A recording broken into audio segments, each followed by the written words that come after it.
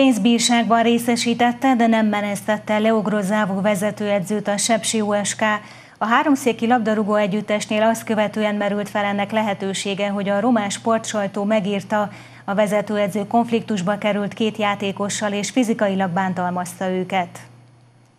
A bajnokság végéig Leo Grozávó marad a Sepsi USK vezetőedzője, erről döntött a klub vezetősége a hétvégén. A román sportsajtó szerint a szakvezető fizikailag bántalmazta Fülöp Lórándot és Kalim Popeskut, emiatt szankcionálták. Az edzőt megbüntettük pénzileg is, és utolsó figyelmeztetésben részesítettük.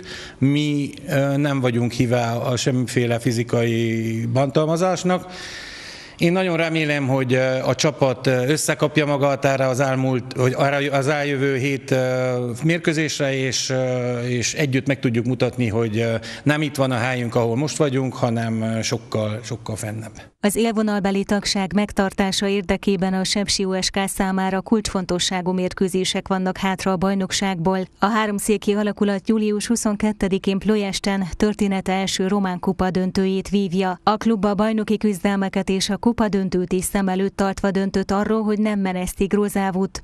Egy új edzőnek ugyanis időre lenne szüksége ahhoz, hogy megismerje és így megfelelően felkészíthesse a csapatot.